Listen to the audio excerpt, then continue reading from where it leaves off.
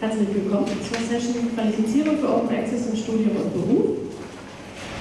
Dies wird eine Session sein, in der Sie nicht in erster Linie Bescheid werden, sondern in der wir Fragen stellen und sich Fragen durch das, was wir präsentieren werden, ergeben. Das hat nämlich einen kleinen Hintergrund, dass wir hier jetzt sind und es fing tatsächlich hier in der FH Köln an, in der Mensa, um genau zu sein, wo Herr Oswald und ich im Rahmen einer bibliothekarischen Weiterbildung zum Thema Open Access Geschäftsmodelle uns gefragt haben, wie sehr Open Access eigentlich in der Qualifizierung verankert ist. Also ist das ein Thema, was einfach dauerhaft gesetzt ist oder fliegt das ad hoc dazu, weil irgendjemand merkt, das sei ein wichtiges Thema. Wir versuchen dem ein bisschen nachzugehen. Das wird hier aber keine erschöpfende Antwort sein, von wegen, so ist der Status quo.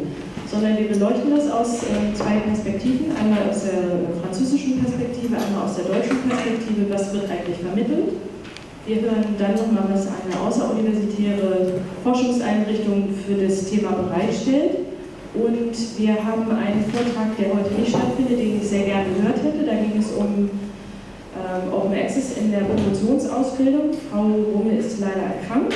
Aber ich habe nicht sehr nett von mir gestern Abend sozusagen auf dem Dienstweg meine Kollegin gefragt, ob sie nicht Lust hätte, das vorzustellen. Und zwar ist das Astrid Ort, die gestern kurz das Foster Projekt vorgestellt hat und heute das nochmal ein bisschen genauer erläutern wird, weil es letztendlich auch in diesen Bereich gehört.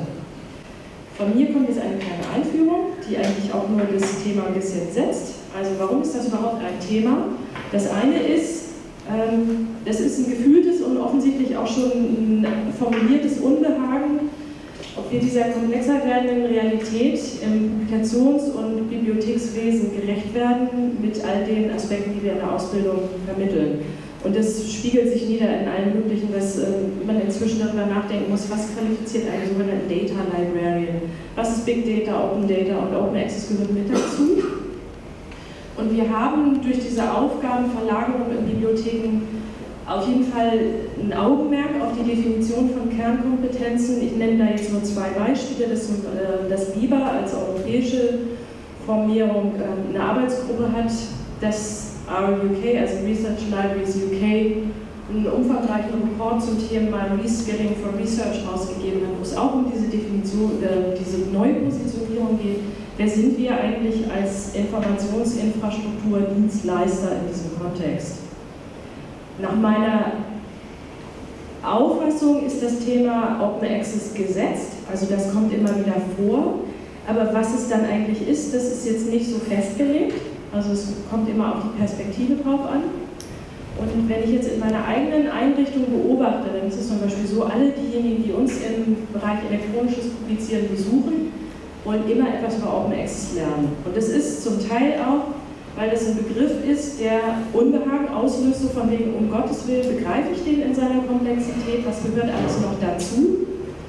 Und dann auch noch mit Urheberrecht gekoppelt und nachher hier mit Lizenzen, wie auch immer. Jedenfalls ist es ein Begriff, wo, wo wir merken, es ist sehr viel Informationsbedarf da und gar nicht nur, um die Informationen von A nach B zu bringen, sondern auch, um sich kompetent und sicher zu fühlen.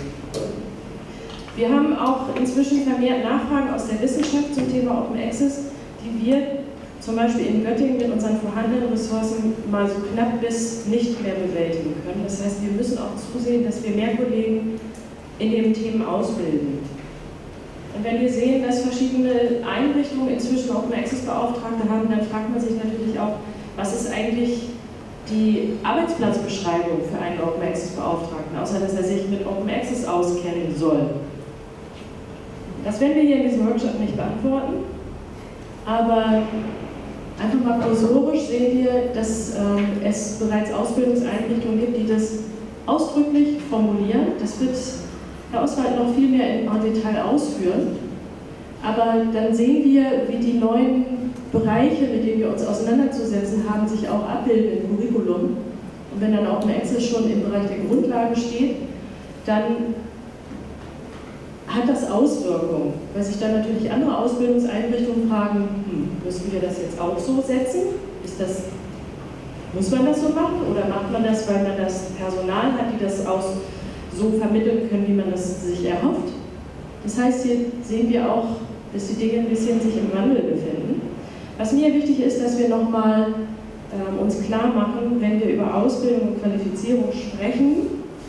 Wir haben diese verschiedenen Akteure, also wer einen Vortrag von mir gehört hat, der hat diesen Kreis schon ganz oft gesehen. Ich benutze den immer wieder, weil da nochmal klar wird, wer eigentlich bei uns so mittut in dem, was wir tun.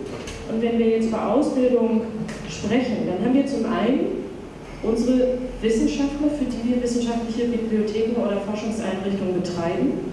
Das heißt, auch die müssen im äh, Thema Open Access so eine gewisse Grundausbildung mitnehmen können. Wie sie das tun, ist sehr unterschiedlich. Und wir haben die Intermediäre. Das sind zum einen die Verlage, das sind zum anderen die Bibliotheken oder eben die Infra äh, Infrastruktureinrichtungen, die das ja nicht nur als Selbstzweck betreiben, sondern für die Produzenten, die gleichzeitig auch die Konsumenten sind. Die Themen, über die wir da sprechen, ist vor allen Dingen der Umgang mit den anderen Akteuren im Zusammenhang von Open Access. Es geht nicht nur um die Inhalte, sondern es geht darum, wenn wir über Open Access sprechen, was bedeutet das zum Beispiel aus Wissenschaftlersicht, mit welchem Geschäftsmodell von einem Verlag werde ich zu tun haben. Aus Bibliothekssicht ist es die Frage, was erwarten eigentlich meine Wissenschaftler vom Thema Open Access? Also es geht immer wieder ganz stark darum, ähm, wo bin ich selber in diesem Dreieck, was wir noch ausweiten müssten um die Förderer und Politik und so weiter, aber ich habe es jetzt mal verkürzt. Also, wo bin ich in Bezug auf die anderen Akteure? Es geht auch um spezifische Prozesse. Also, was bedeutet es zum Beispiel, einen Publikationsfonds zu betreiben? Und was ist eine, ähm, wie bringe ich das eine in mein Portfolio der Erwerbung? Aber es geht auch um spezifische Inhalte, wie zum Beispiel um solche Dinge wie, was ist eine Creative Commons Lizenz? Und diese drei Felder, denke ich, sind die, die wir versuchen beim Thema Open Access in der Ausbildung abzubilden. Und wenn Sie da anderer Meinung sind, dann merken Sie sich das gut und dann fragen Sie mich gleich, wenn ich eine Pause mache. So, das wäre dann zum Beispiel die Sicht auf die sogenannten Produzenten. Also wie versuchen wir die Wissenschaftler, den wissenschaftlichen Nachwuchs an diese Themen ranzubringen, was machen wir da? Verankern wir das in äh, festen Curricula, so wie wenn man Mikrobiologie lernt, einfach gewisse Grundlagen hat. Das ist, äh, unterscheidet sich nicht riesig groß, ob man jetzt in Barcelona oder in Göttingen studiert. Beim Thema Open Access sind die Ansätze sehr, sehr unterschiedlich.